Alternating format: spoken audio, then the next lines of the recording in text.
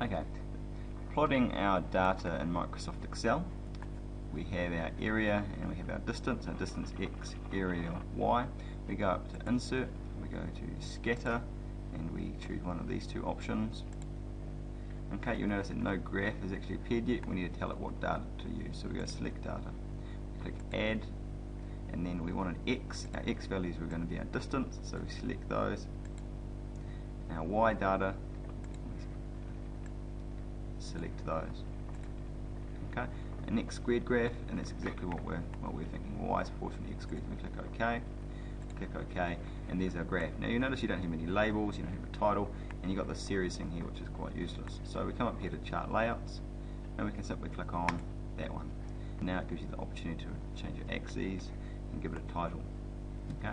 The other way of doing that would be to go out to layout up here at the top, and you can click on axis title, chart title, data labels, etc, etc, etc. Now, if this was your linear graph, you could also go up here to error bars, and you could add error bars. However, because this is our raw data graph, um, we don't add error bars to our raw data graph. So if we click in here, and we can type in area, curly bracket, capital A for area, square bracket for the units, meters 2. Now if I just go shift and the back arrow, shift and the, and the arrow, and then if I go control shift plus okay that'll put it up to a superscript. And then control shift plus and then square bracket. The same here on the x-axis I can highlight all of that. And that was our distance distance curly bracket D square bracket units distance is meters okay? Don't actually need that series. And chart title would be.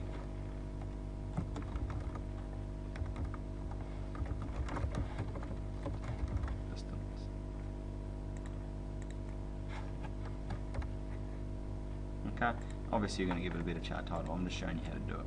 So that's your initial raw data, you can see that area is proportional to distance squared.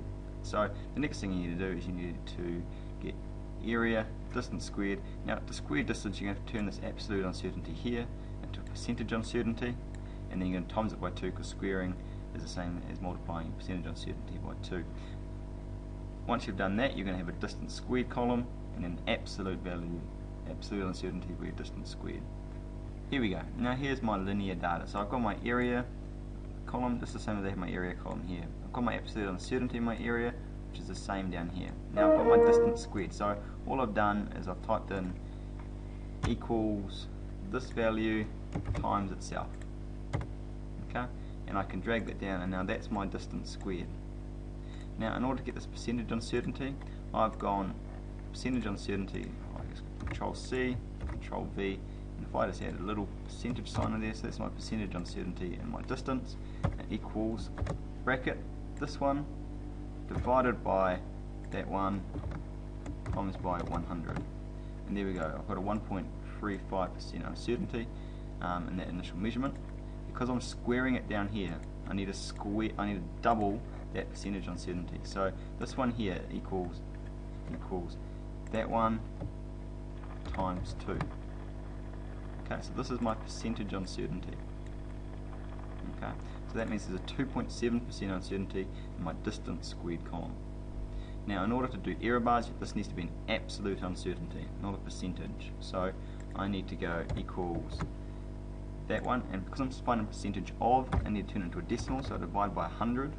So now that 2.7 is now as a decimal, and then I'm multiplying by that value. And I can drag that down, and these are all my absolute uncertainties to um, one significant figure.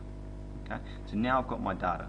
Now I'm plotting area versus distance squared and the what color are we going to do?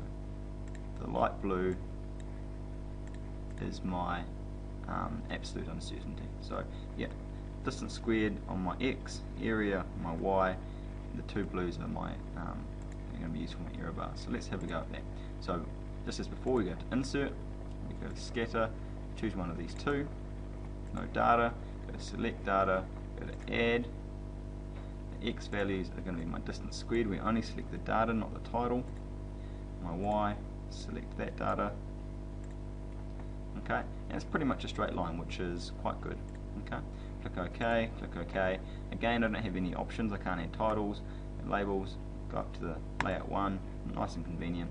Okay, and now here, this is distance. Shift 6 squared okay? Or you can push 2 shift and left arrow and control shift plus to get that squared up there and control shift plus to get it back down. Distance squared curly brackets to say D2 shift backward arrow control shift plus to get superscript control shift plus to get back down. Curly arrow and units are going to be meters 2 okay because if you transform the variable, you also transform the unit. Now the title up here, the label on this side is area, curly bracket, capital A, square bracket, meters squared. Okay, meter squared over meter squared is a dimensionless unit. You can get rid of the series, okay, and you can add an appropriate chart title, which we'll do soon. Now I want to add error bars. Okay, so as I showed you earlier, you go up to this layout menu and under chart tools. So you've got to have your chart selected. If you don't have your chart selected you don't have it. So you've got to click the chart your chart layout. Here's all these options. Now one of these options is error bars. Okay so we click on error bars and there's a whole range of options. Now you want to click more options at the bottom. More options okay? Talking about the vertical direction we go down to custom because our um, in our vertical direction our absolute uncertainties are different. So we go to specified value. Now our positive size of our error bars and our negative size of our error bars are all going to be the same, positive and negative, we click OK, and we click close. Now you'll notice that our vertical bars are looking pretty good, but we've got these huge, ridiculous um, X bars, and that's because we haven't actually selected them and changed them yet. So if we double click on them, for some reason Microsoft Excel's got some fixed default value. We're going to go down to custom, and we're going to change our X values. Now remember, our X values are going to be um, these absolute uncertainties of distance squared, because that's uh, what's on our x-axis. So we click that, click OK, click OK. Now we've got a nice straight graph that has um, that has error bars on it.